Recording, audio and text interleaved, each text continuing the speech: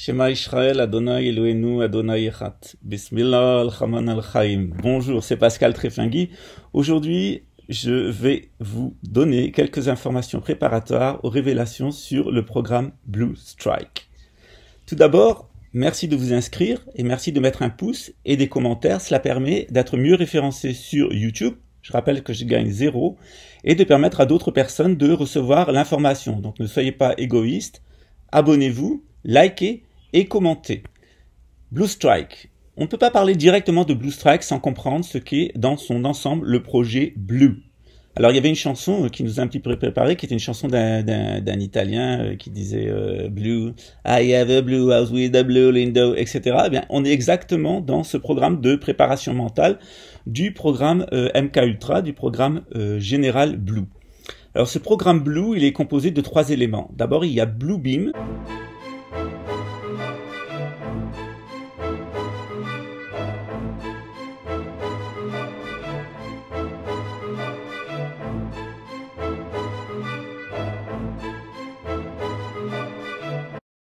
Hein, qui est un projet qui est associé avec la NASA et qui est basé sur une falsification des religions mondiales avec la manifestation dans une période de crise d'un certain nombre d'hologrammes. Il y a le Blue Book, donc euh, qui est euh,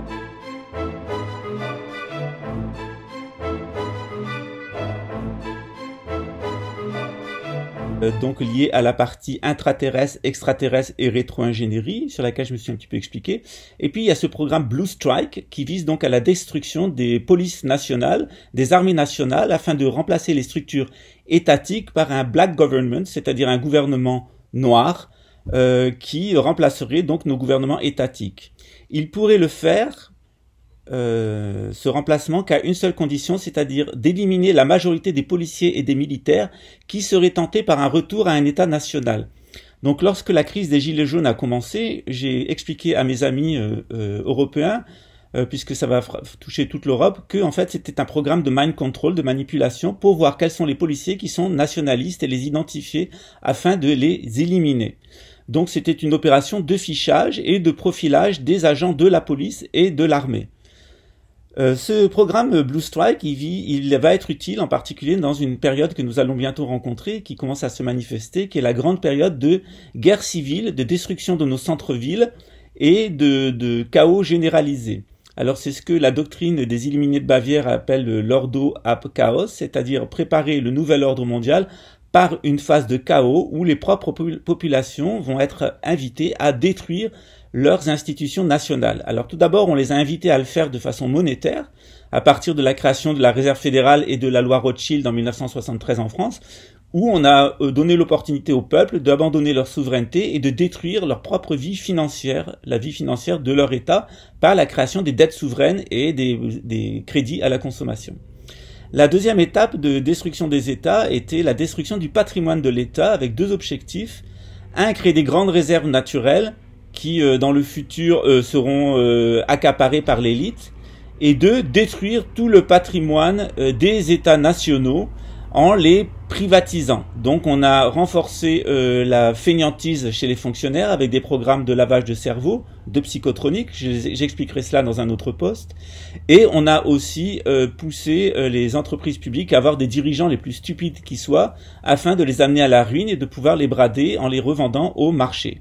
Donc dépossession de la souveraineté, monétaire, dépossession du patrimoine. Maintenant, il s'agit de mettre totalement à nu les États. Alors l'Union européenne a été créée pour ça, hein, détruire euh, tous les États nationaux européens afin de ne pas les remplacer par un État supranational euh, qui soit euh, un État des nations, mais une Europe technocratique, complètement orientée sur la pensée néolibérale du nouvel ordre mondial, mondialiste, afin d'amener la destruction des États.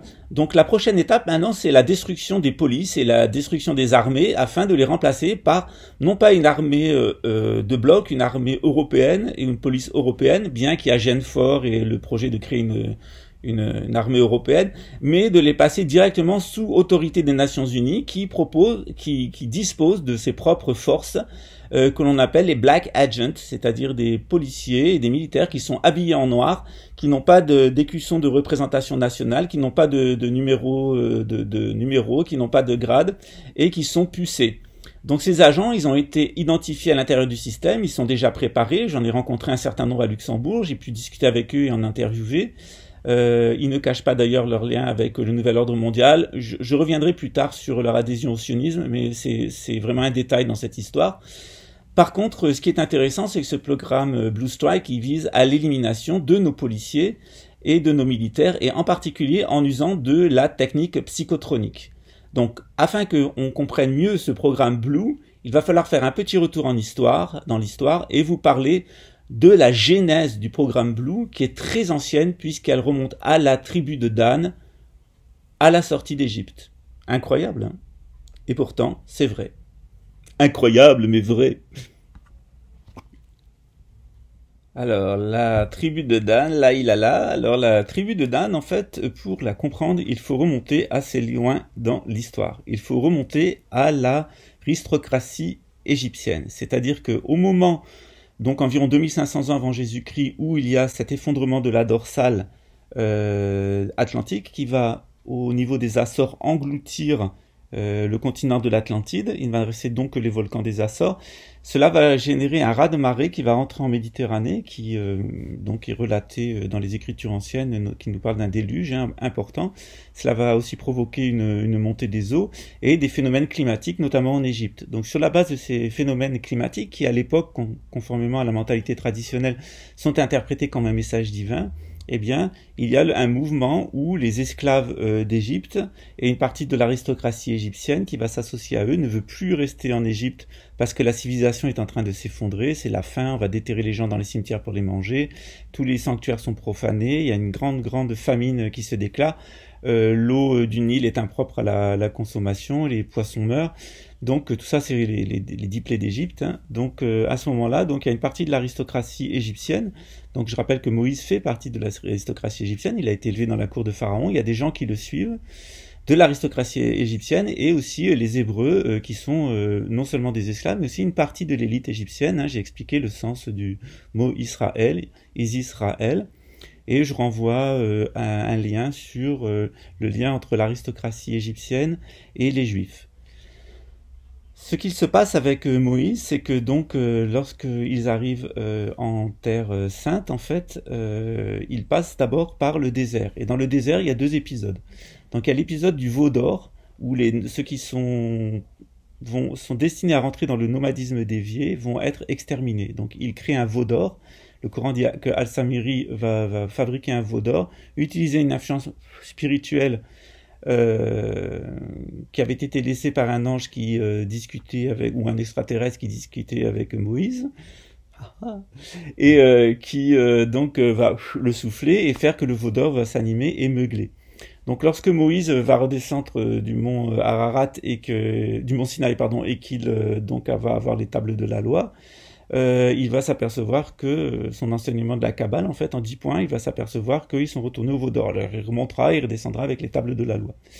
Donc pour l'instant, lorsqu'il redescend avec euh, l'enseignement de la Kabbale, avec les l'enseignement des dix séphirotes, de l'arbre de vie, euh, eh bien, ce qu'il s'aperçoit, c'est que les, une partie de l'aristocratie égyptienne euh, qui était dans les, les fuyards hein, qui sortaient d'Égypte est retournée au culte du, du dieu taureau, hein, de l'ère du taureau, Or, Moïse, il fait rentrer euh, dans l'ère du bélier, euh, dans l'ère euh, du sacrifice, et donc il a, décide donc d'exterminer la moitié des, des Hébreux qui ont fui d'Égypte. Donc je rappelle qu'il y a non seulement des esclaves, mais il y a aussi beaucoup de gens de l'aristocratie égyptienne. Alors ce qui va se passer, c'est qu'il y a 40 ans de purification dans le désert, le temps qu'une génération de personnes soit éliminée, et que les gens soient tout à fait des nomades. Et quand ils se sont tout à fait nomadisés, ils sont prêts à se transformer, j'ai expliqué le schéma, donc le sédentaire Moïse avec les douze euh, mentors spirituels, les douze tribus d'Israël, ou le nomade sacralisé, l'empereur avec les quatre castes de sédentaires. Donc là, on est dans le nomadisme régulier, et euh, dans ce nomadisme régulier, en fait, euh, ces douze nomades, douze tribus de nomades qui sont issus de l'aristocratie et des esclaves d'Égypte, vont se conformer à leurs douze mentors spirituels et se répartir en fait en douze mentalités différentes. Alors, au cours de ce cheminement, ils vont adopter un dieu national des montagnes, d'un peuple des montagnes, qui est Yodewave, Yehova, euh, qui est donc le lieu, euh, le, dieu national, qui a d'ailleurs une parade euh, féminine. Hein. donc, les, premiers Hébreux qui arrivent en, terre promise, en Israël, ils sont donc polygames, ils ont un dieu et sa parade, donc un dieu unique, et leur dieu national avec sa parade Ashana, qui est donc sa, son côté féminin et qui sera d'ailleurs encore à l'époque de Jésus, il y, a, il y a des cultes de cette déesse féminine en parallèle, puisque le monothéisme s'est jamais véritablement euh, implanté dans le cœur du peuple juif. Cela viendra par la suite, notamment avec le talmudisme.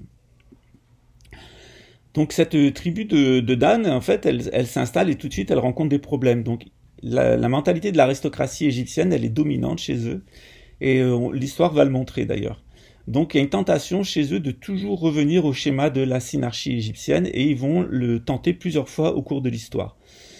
La première tentative, c'est lors de la déportation à Babylone. Eh ben, on s'aperçoit qu'il y a les onze tribus euh, qui sont euh, déportées, notamment celles de Samarie, qui sont déportées euh, à, Babylone, environ 200 000 personnes mais qui a une partie qui va fuir vers l'Afrique. Alors cette partie qui va fuir vers l'Afrique, elle est issue de la tribu de Dan, et c'est les Falachas, ceux qui sont devenus les Falachas d'Éthiopie, que l'État sioniste d'Israël a réimporté massivement euh, en Israël dans les années 70. Il y a d'ailleurs de très bons films qui ont été faits sur cette question, et d'ailleurs le Mossad s'est montré, les agents du Mossad se sont montrés très héroïques euh, dans leur volonté de pouvoir euh, permettre à ces membres de la tribu de Dan de revenir en Israël. Il faut rappeler que le programme sioniste est un programme de la tribu de Dan, hein, et c'était un enjeu pour les sionistes de faire venir ces descendants de la tribu de Dan. Alors, lors de la déportation euh, vers Babylone, il y a quand même une partie de la tribu de Dan qui est déportée à Babylone, et c'est elle qui va décider non pas de revenir en Terre Sainte, notamment en Samarie avec le culte des Samaritains, mais de rester à Babylone. Et de ces personnes qui vont rester à Babylone, en fait, euh, ils vont participer donc euh, à l'empire ensuite médo-perse. Et ensuite, ils vont donc euh, rester sur place et c'est eux qui vont aider les nomades khazars venus du centre de l'Asie à créer l'empire khazar. Donc l'empire khazar, il s'est aidé avec les descendants babyloniens de la tribu de Dan, qui eux vont leur apporter une sorte de judaïsme euh, dévié d'ailleurs, hein, qui va permettre, euh, sur la base aussi du, avec l'apport talmudiste, de créer l'empire khazar et ensuite le judaïsme ashkénaze d'Europe de l'Est, qui enfantera au final du programme de nouvel ordre mondial. Je vous ai déjà expliqué tout ça. Chez, les juifs euh, donc de la tribu de Juda, enfin les gens de la tribu de Juda qui sont revenus, il y a aussi parmi eux des gens de la tribu de Dan. Donc il y a des gens de la tribu de Dan qui restent à Babylone et des gens de la tribu de Dan qui vont revenir en Kazari, qui vont retourner pardon, en Samarie. Donc il y a ceux qui restent à Babylone et il y a ceux qui retournent et qui vont donner naissance à l'empire Khazar, au judaïsme ashkénaze et au nouvel ordre mondial. Leurs descendants, ce sont les Rothschild, et il y a ceux qui vont retourner en Terre Sainte, donc de la tribu de Dan, depuis Babylone, et un de leurs descendants est Jésus. Donc Jésus, il est un des descendants de la tribu de Judas, mais aussi de la tribu de Dan, puisque les deux tribus ont fusionné. Et euh, donc Jésus va avoir avec euh, Marie-Madeleine euh, une fille qui va s'appeler Sarah, et Sarah et ses descendants vont avoir, par les femmes, vont avoir un descendant qui sera Mérové, qui est l'ancêtre des lignées royales européennes. Donc ces lignées royales européennes, elles vont vivre leur vie hein, avec les Carolingiens, qui sont juifs aussi, euh, ils vont donc euh, créer l'oligarchie européenne, l'oligarchie terrienne, mais toujours en parallèle, cette euh, oligarchie marchande de nomades qui est descendante de Dan, elle va vouloir à chaque fois prendre le pouvoir. Tout le temps, tout le temps, tout le temps, avec des tentatives, jusqu'au moment où ils arrivent à éliminer l'aristocratie terrienne européenne et la remplacer par une, aristocratie marchande. Et cette aristocratie marchande, à son sommet, il y a 13 familles. Le super sommet, c'est les descendants de la tribu de Dan, par Mérové, dont naîtra l'Antéchrist. Et ensuite, il y a 12 autres euh, lignées euh, d'Illuminati, ces 12 lignées d'Illuminati, euh, dont les Rothschild, dont les Astor, etc. Eux, ils sont là pour faire du business et conforter le pouvoir de la lignée de Dan. Alors ce qui est intéressant de la lignée de Dan, c'est que d'abord, euh, elle fait partie de l'aristocratie égyptienne. Ensuite, elle passe par euh, l'hébraïsme, donc le mosaïtisme hein, dans le désert. Et ensuite, dès qu'ils vont se fixer en Terre Sainte, en Israël, il y a des difficultés avec la tribu de Dan. où elle se sauve, où elle collabore avec les grands empires qui sont autour, parce qu'elle se positionne toujours comme une aristocratie d'origine égyptienne à l'intérieur du peuple juif. Et euh, le projet donc de cette tribu de Dan va être de revenir à chaque fois à la synarchie euh, égyptienne, mais de façon parodique. Donc cela va vous expliquer pourquoi dans le programme de Nouvel Ordre Mondial on trouve la tribu de Dan, donc des gens qui ont apostasié le judaïsme, pourquoi on trouve des Khazars et pourquoi on trouve cette symbolique égyptienne. La raison, elle en est la suivante. On a une lignée royale qui vient par les juifs d'Égypte. Et cette lignée de Dan, en fait, elle est passée par trois étapes. D'abord, elle a apostasié euh, le, mosaïtisme, elle a aussi apostasié le judaïsme, elle est restée à Babylone où elle s'est sauvée en Éthiopie, où elle a été intégrée dans l'empire chrétien d'Éthiopie. Et ensuite, cette tribu de Dan, elle est devenue chrétienne, c'est-à-dire toutes les familles royales européennes, ce sont des descendants euh, de Dan, par Mérové et Marie-Madeleine, et, euh, et, Jésus, donc, et donc ces lignées, elles vont devenir chrétiennes. Ce qu'elles vont faire à partir d'une certaine époque, euh, donc à partir euh, du, on peut dire du XVIIe siècle, c'est d'apostasier euh, le christianisme pour entrer dans une autre, nouvelle forme de religion qui est l'antéchristianisme. Donc la religion du nouvel ordre mondial, ce n'est pas le sionisme, c'est pas l'international marxisme, c'est pas le nationalisme qui nous ont imposé en Europe à partir du XIVe siècle, c'est l'antéchristianisme ou l'antéchristisme. Donc la religion de ces gens-là, ou vous pouvez appeler ça du satanisme, est de préparer la venue de l'antéchrist et son avènement. C'est leur religion. Ils ont la religion de l'antéchrist. Maintenant, je vais vous parler de, euh, du lien entre Jésus et de Marie-Madeleine et qui est Marie-Madeleine. Et ensuite, on pourra revenir au programme Blue puisque c'est un programme qui est typiquement inspiré de la technologie égyptienne. Alors, ce qui est très intéressant avec les catholiques, euh, euh, c'est que généralement, ils, ils, sont dans l'affabulation totale par rapport à euh, leurs écritures.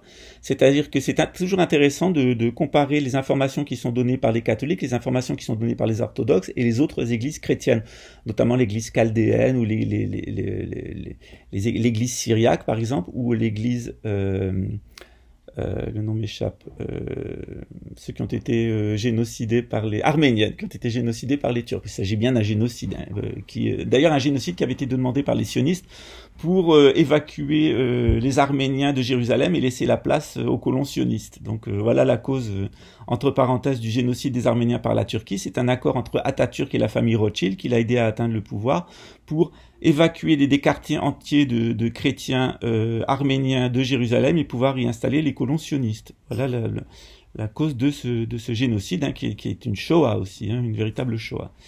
Donc ce qui se passe euh, par rapport à Jésus, c'est intéressant de le et Marie-Madeleine, c'est intéressant de le voir dans les multiples traditions chrétiennes. Alors chez les orthodoxes, Marie-Madeleine la prostituée, etc., tout ça, ça n'existe pas. Tout ça, c'est une confusion chrétienne qui a mélangé beaucoup de choses, euh, beaucoup de personnages des évangiles. Je vous invite à lire euh, l'évangile de Marie, qui est assez, euh, Marie-Madeleine, qui est assez intéressant. C'est un des apocryphes euh, de la mer morte, hein, de Nagamadi. Alors, qu'est-ce qu'on sait sur Marie-Madeleine chez les orthodoxes et chez les syriaques et les arméniens? On nous dit que Marie-Madeleine, en fait, elle porte ce nom parce que c'était une femme riche, une veuve, qui avait des industries, notamment des industries de pêche, et elle avait donc, elle, avait beaucoup de possessions, et notamment dans la ville où elle résidait, près du lac de Tibériade, elle avait une tour, une très très grande tour. Euh, ou, un château si vous préférez. Mais elle vivait dans cette tour, euh, ce qui va lui donner des caractéristiques psychiques un petit peu euh, particulières. Alors les personnes qui suivent mon travail, je les invite à se reporter à mon livre sur le tarot, notamment à la lame 16, la tour foudroyée ou le,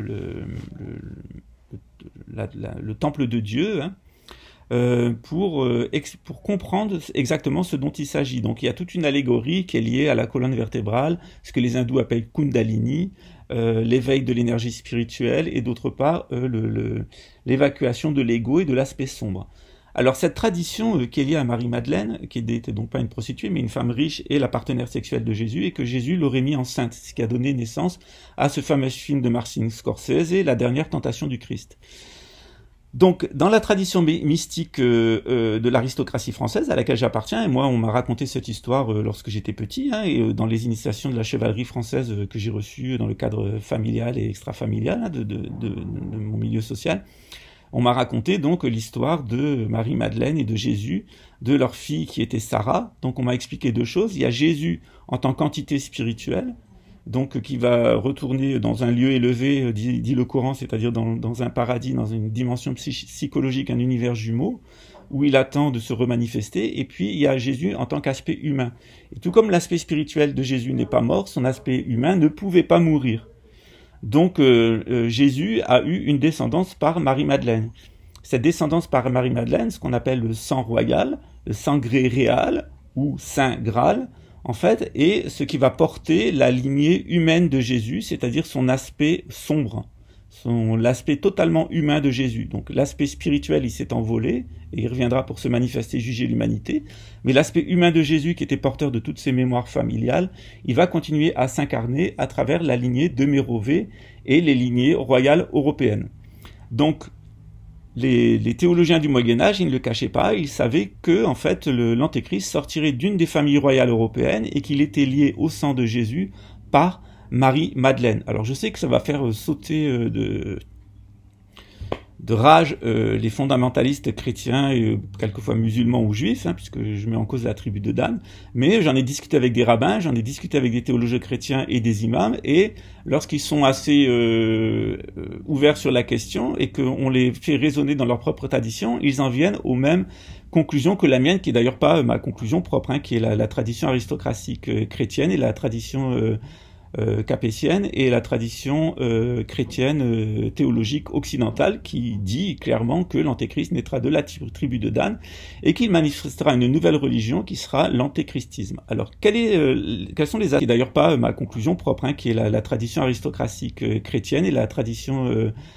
capétienne et la tradition euh, chrétienne euh, théologique occidentale qui dit clairement que l'antéchrist naîtra de la tribu de Dan et qu'il manifestera une nouvelle religion qui sera l'antéchristisme. Alors quels sont les aspects de cet antéchristisme Tout d'abord, il veut parodier la synarchie égyptienne.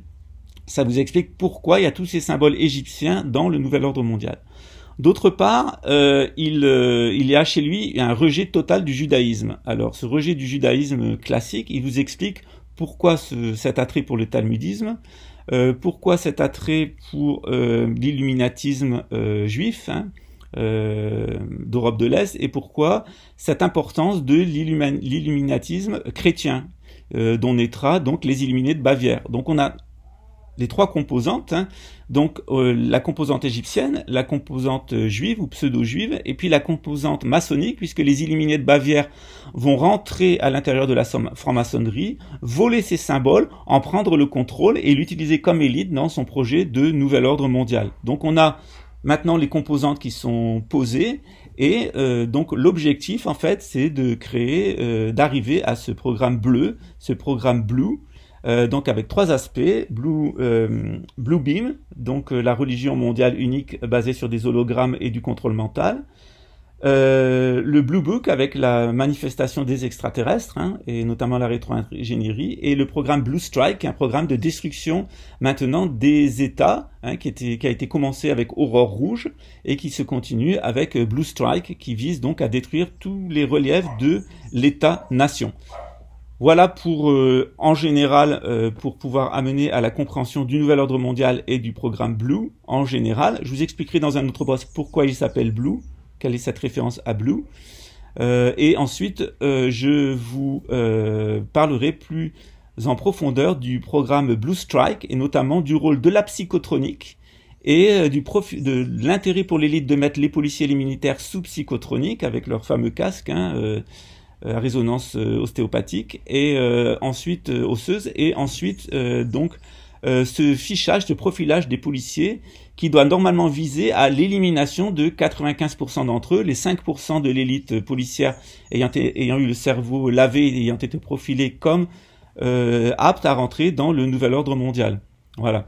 Donc je vous expliquerai donc pourquoi nous allons rentrer dans une période non seulement de guerre mondiale, mais de guerre civile. Voilà. À très bientôt. Ciao.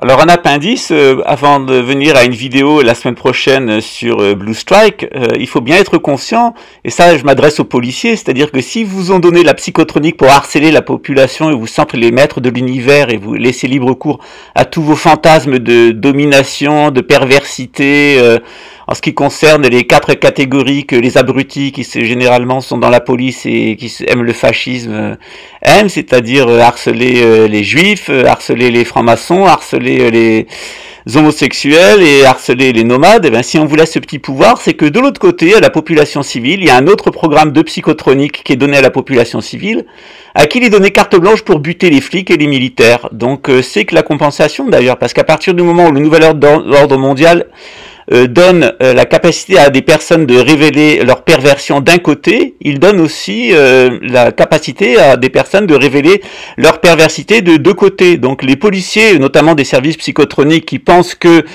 ils vont assister à l'avènement du nouvel ordre mondial, qui vont en toucher les bénéfices et que le nouvel ordre mondial est avec eux, c'est totalement faux. Le nouvel ordre mondial est en train de le piéger. Tout comme le nouvel ordre mondial va piéger euh, donc les, les, contestataires, les gens qui sont pour une guerre civile.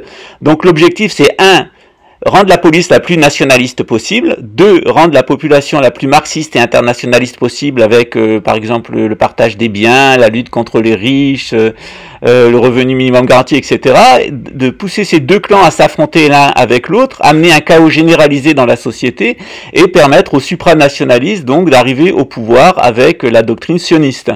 Donc tous les gens policiers qui sont là comme des gros cochons en utilisant la technique psychotronique pour faire du mal à autrui et tous les petits crétins qui pensent que on les a mis dans les services secrets pour faire du jeu vidéo avec la population civile. Ils ont exactement comme pendant euh, les gens euh, internationalistes, les manifestants, les syndicalistes, euh, les gens qui sont pour la démocratie et l'état de droit et qui manifestent dans la rue. Donc c'est leur pendant, mais l'objectif du nouvel ordre mondial, c'est de se débarrasser des deux. C'est-à-dire qu'il n'y a aucun policier d'un service psychotronique qui rentrera dans le gouvernement mondial, dans, le, dans ce que sera le, le, monde du gouvernement mondial.